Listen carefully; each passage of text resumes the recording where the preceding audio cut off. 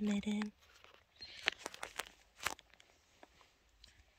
주말에 혼자 있으면 이별 후에 항상 외롭고 힘들고 막 마음이 안 좋고 그렇기 때문에 스스로를 위해 힐링을 위해서 주말에 그림을 그려보려 합니다. 새 거고요. 머리카락. 음. 요새는 그림을 그려본 게 얼마만인지. 참고로 저는 그림을 못 그립니다. 그냥 힐링을 위해 그리는 겁니다.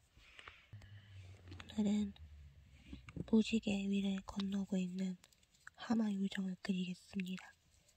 4차원 나가 나랑 닮은 딱 맞는 그림이죠. 이빨로 열었습니다. 무지개를 그릴 거지만 색깔은 슬픔의 파랑으로 다 그릴 겁니다.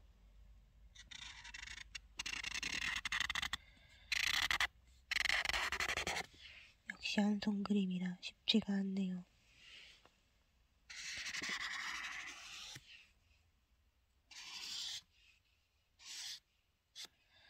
저는 매직으로 그린 그림을 좋아합니다.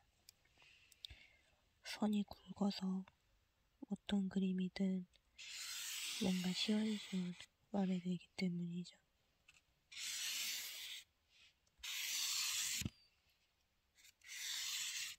전에 묻었습니다. 진짜. 자.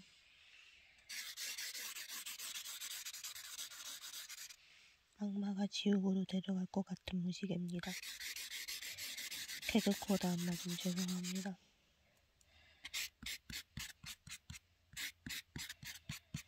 에라이 젠장. 이 세상에 영원한 거 없다더니 이별하고 나서 왜 항상 이렇게 힘든 건지 그 사람이 찐사랑이라면 또 내가 등신중신인 건지 내 마음에 비가 내립니다.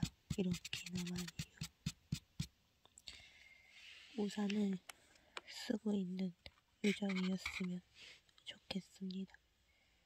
그래야 내 마음에 뭔가 위로가 되지 않을까요? 라는 헛소리입니다.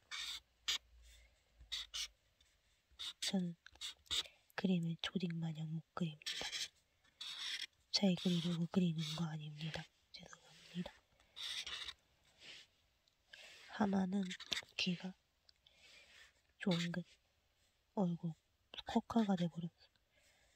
그리고 이렇게 좀 펑퍼짐하고 눈이 다녔어요.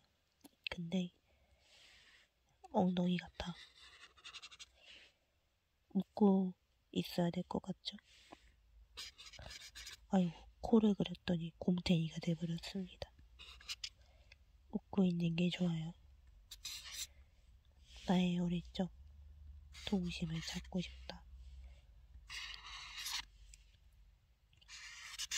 몸이 트위스트를 주고 있다. 꼬리 춤을 추는 곰탱이가 돼버렸다. 나에겐 방송 장비가 없다. 그래서 카메라 뒤로 그림을 그리는 것은 너무나 무리였던 것이다. 종이가 아깝다.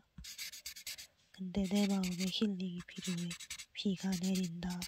쭉쭉쭉쭉 쭉쭉쭉 쭉쭉쭉 쭉쭉쭉 쭉쭉쭉 쭉쭉쭉 내 마음에 낙서가 됐다. 미안하다. 불쌍한 나의 종이야.